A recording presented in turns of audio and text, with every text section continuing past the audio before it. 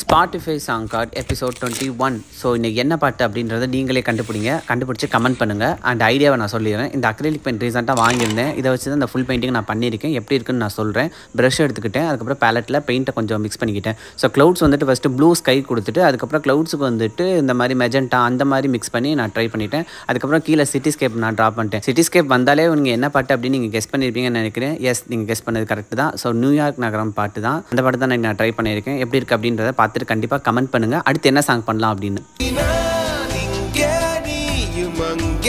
இந்த தனிமையில் நிமிஷங்கள் வருஷமா